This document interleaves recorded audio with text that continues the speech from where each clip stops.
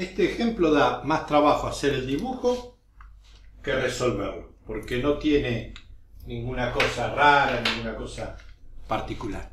Me habla de una proyección ortogonal, o sea, a 90 grados sobre cada uno de los ejes.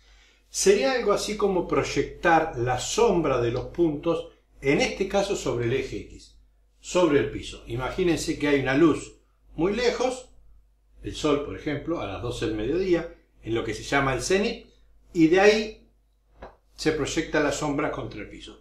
Incluso puntos abajo del piso proyectarían sombra sobre el piso. Es una forma de imaginarse las cosas. Pero la transformación es muy sencilla. ¿Por qué? Porque de acuerdo a esto, el transformado del 1, 0, o sea, de este, es igual al 1, 0. ¿Ven? Eso es lo que está en esta columna. Y el transformado del 0, 1, este, la sombra sería el 0, 0. De ahí salía esta matriz. ¿Sí? La sombra de este es este. O sea que este viene a parar a este lado y este viene a parar acá. Así que ya está. ¿Mm? Esto lo habíamos encontrado haciendo este mismo razonamiento en el ejercicio anterior perdón, unos dos o tres videos para atrás. ¿Cuál es la proyección de este cuadrado sobre el eje X? No es otra cosa que todo esto. ¿Sí? La sombra de esto. El punto este, todo el segmento y este otro punto. ¿Sí? Eso es. Acá hacemos lo mismo.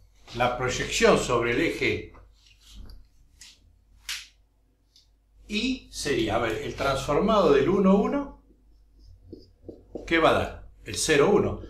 Es más, ni siquiera miro la fórmula, pero si lo hago con la fórmula, si yo acá pongo 1, 1, o sea, si x vale 1 e y vale 1, el transformado es 0, 1. Y el transformado, esto es 1, 0. El transformado de 1, 0, ¿qué me va a dar? El 0, 0. Si pongo estos valores acá, tengo eso. O sea que esos dos puntos se proyectan acá. Y este acá. Este sobre sí mismo y este sobre sí mismo. Conclusión, la proyección de la figura, la sombra de la figura contra esta pared, si estuviera iluminada de allá, sería eso. Nada más. Bien sencillo, bien fácil. Se podría hacer una proyección según otra dirección no lo voy a hacer porque me salga un poco del libreto. Pero yo podría suponer que el sol no está allá. Allá está mi oeste, está en el poniente. La proyección de un panel rectangular sobre una pared sería una recta. Y los puntos coincidirían. Podría ser que el, sol estuviese un poco más arriba. Entonces proyectaría este punto acá, este punto por acá, y haciendo el mismo razonamiento yo podría decidir, en base a un ángulo, a ver a dónde van a parar los puntos. Y sería una sombra un poquito más larga. Y ya no coincidiría esta proyección con la del punto 01. Pero eso es para que ustedes lo prueben y sobre todo para que lo piensen.